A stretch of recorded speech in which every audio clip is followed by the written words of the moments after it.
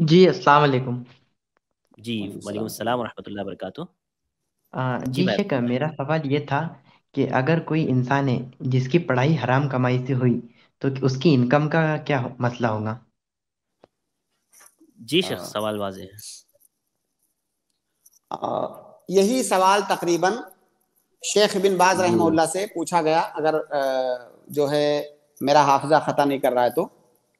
जी। कि अगर किसी आदमी ने पढ़ाई किया चीटिंग किया। मान लीजिए इम्तिहान में बहुत सारे चीटिंग करते हैं। और सर्टिफिकेट मिल जाता है। एक मिनट जी बोलिए। जी नहीं भाई। ची, चीटिंग नहीं किया। नहीं देखिए कैसा है ना मोहम्मद भाई थोड़ा सा आप सब्र रखें। शेख उस बात पर भी आएँगे जो आपका सवाल है। जी जी माफ़ी चाहता हूँ। थोड़ा सा सब्र रखें इंशाल्लाह। जी जी। जी शेख आप कंटिन्यू कीजिए शेख। तो जैसे अगर किसी ने इम्तिहान में चीटिंग करके सर्टिफिकेट लिया उस सर्टिफिकेट से उसको नौकरी मिली तो जो उसको नौकरी मिलेगी तनख्वाह मिलेगी क्या वो तनख्वाह हलाल है या हराम है? जवाब इसका ये है अगर शरीयत के उमूमी उसूलों को देखेंगे कि वो आदमी जो काम कर रहा है असल उस काम की बुनियाद पर उसको तनख्वाह मिल रही है। नौकरी तो ठीक है सर्टिफिकेट की बुनियाद पर मिली लेकिन क्या उसको तनख्वाह सर्टिफिकेट की बुनियाद पर मिल रही है? नहीं। नौकरी मिल गई अब। अब उसको काम करेगा तब तनख्वाह मिलेगी। तो यहाँ पर देखना यह है कि क्या हकीकत में सर्टिफिकेट तो उसका जाली है। लेकिन क्या वो जो काम करने जा रहा है वो काम करने का अहल है कि नहीं?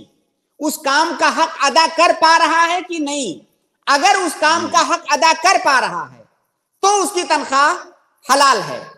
अगर उस काम का हक अदा कर पा रहा है, वो काम करने का आल है तो उसकी तनख्वाह हलाल है। गर्चे उसकी नौकरी शुरू में उसने धोखा देकर के नौकरी हासिल किया है। लेकिन नौकरी हासिल करने की बुनियाद पर तनख्वाह थोड़ी मिल रही है। तनख्वाह तो काम करने की बुनियाद पर मिल रही है।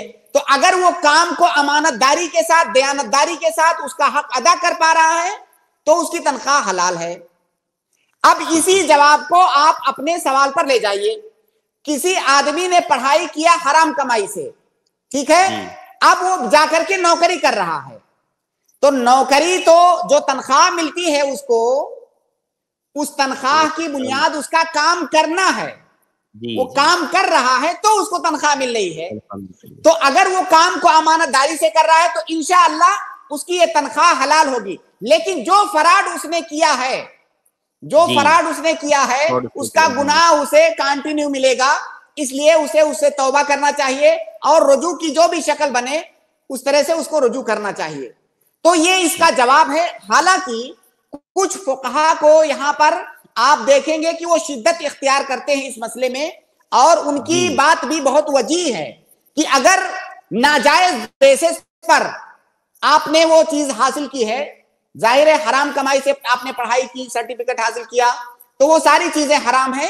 हालाँकि ये बात थोड़ी सी सख्त है। शरीयत के जो आम उसूल हैं उनके मुआफिक नहीं जाती है। सही बात यह है कि अगर वो काम का हक अदा कर पा रहा है तो उसकी वो तनख्वाह जायज़ है क्योंकि तनख्वाह नौकरी मिलने की वजह से नहीं मिल रही है तनख्वाह काम करने की वजह से मिल रही है। काम करने की वजह से मिल रही है। बाकी उसने जो का, गलत काम किया है उसका गुनाह उसको मिलेगा।